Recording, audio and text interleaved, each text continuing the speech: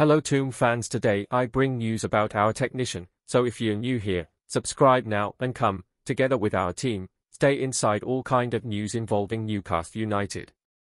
The rise of the Newcastle side under the leadership of Eddie Howe and his backroom team is a remarkable success story. When looking back a few seasons, it's hard to imagine the fare that was served up by Steve Bruce's team.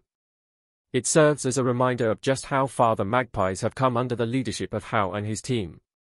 While Howe is often the center of attention, it's important to recognize the significant contribution of his right-hand man, Jason Tindall. The two have worked together since Howe was an exciting and emerging manager at Bournemouth. They formed a solid and long-lasting working partnership that has led them to where they are today.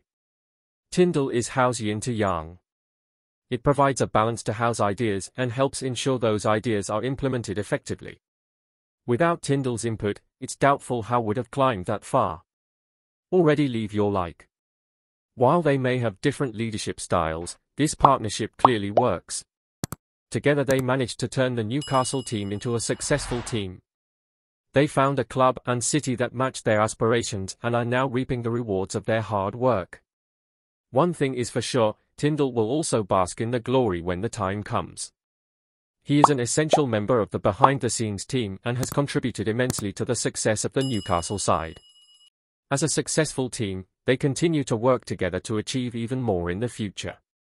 In conclusion, the Newcastle side's success story under the leadership of Eddie Howe and his behind-the-scenes team is inspiring. They are an example of how a united and committed team can achieve great things. They remind us that success is not achieved alone, but through effective collaboration and hard teamwork. Write in the comments what your opinion about this joint force. Thank you very much for participating. See more.